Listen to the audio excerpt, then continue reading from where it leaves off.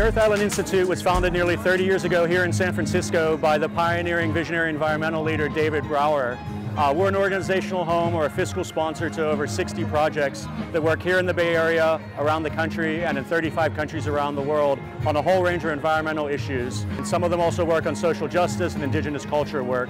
Um, through our project support, our public education, our quarterly Earth Island Journal, our investment in youth leadership through our New Leaders Initiative and Brower Youth Awards, and our Restoration Initiative grant making in Southern California, we uh, pursue a mission to ensure the uh, diversity, biological and cultural diversity of the world.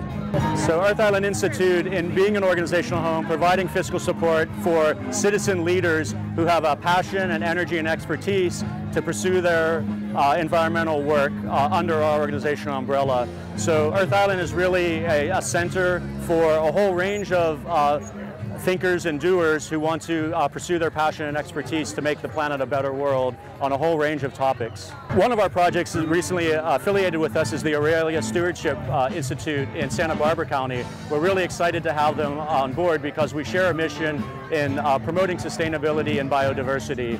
Uh, the work of Aurelia is to raise education for permaculture farming and uh, sustainable farming practices in their region.